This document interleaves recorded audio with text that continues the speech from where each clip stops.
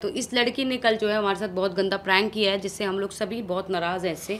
Seriously हम लोगों को नहीं पता था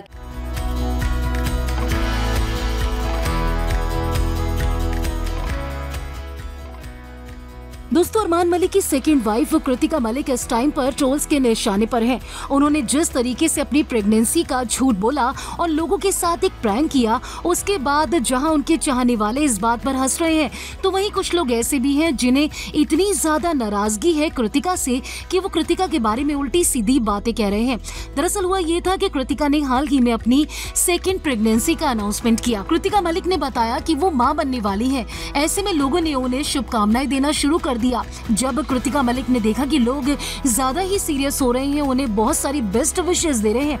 ऐसे में फाइनली जब कृतिका को इस बात का एहसास हुआ तो उन्होंने पायल और अरमान के सामने इस बात को रिवील किया कि उन्होंने जो कुछ भी कहा, वो सब कुछ झूठ था। लेकिन ब्लॉग के अंदर कृतिका का इस तरीके से रिवील करना कि उन्होंने फैंस के साथ प्रैंक किया था, ये अपने आप में काफ़ी बड़ी बात है, क्योंकि लोग अरमान और उनकी फैमिली से बहुत ज़्यादा कनेक्ट करते हैं। ऐसे में उनका झूठ हो या फिर कोई सच उसका सीधा सीधा असर उनके फैंस के ऊपर पड़ता है। अब जब कृतिका मलिक को रिग्रेट हो रहा है इस बात पर कि उन्होंने आखिर फैंस के साथ इतनी बड़ी बात को शेयर किया जो कि बिल्कुल झूठ थी। ऐसे में हर ब्लॉग के अंदर वो इस बात के लिए माफ़ी मांगती नज़र आ रही है कि उन्होंने जो कुछ बोला वो सिर्फ़ एक मज़ाक था। हाल ही में पायल, कृतिका दोनों ने अपने चैनल पर इस बात को रिवील किया कि लोग उनसे कितने ज़्यादा नाराज़ हैं। पायल ने तो ये तक कहा कि कृतिका की इस हरकत को मैं बिल्कुल सपोर्ट नहीं करती हूँ।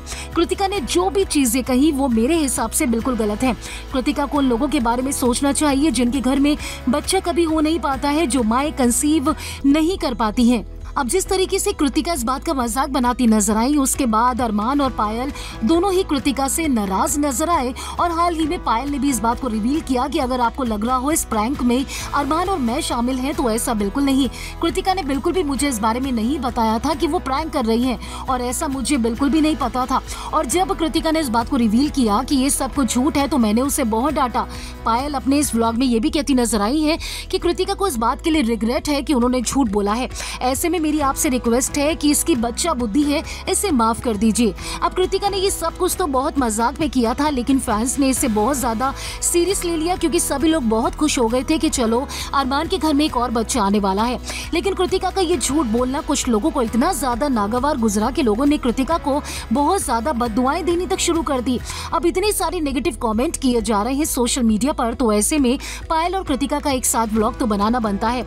ऐसे में बहुत सारे कॉमेंट लिए गए अपने इस ब्लॉग के अंदर और पायल और कृतिका ने उन सभी लोगों से माफ़ी मांगी, जो कि उनसे बहुत ज़्यादा पर्सनली कनेक्ट करते हैं और जिन्हें इस बात का बुरा लगा कि कृतिका ने इतना बड़ा झूठ उनके साथ बोला, इतना बड़ा प्रैंक किया। कल पूरा दिन कृतिका मलिक लोगों के निशाने पर रही। कृतिका को लेकर लोगों ने बहुत नेगेटिव कमेंट किया और ये तक कहा कि तुम्हें शर्म नहीं आती है।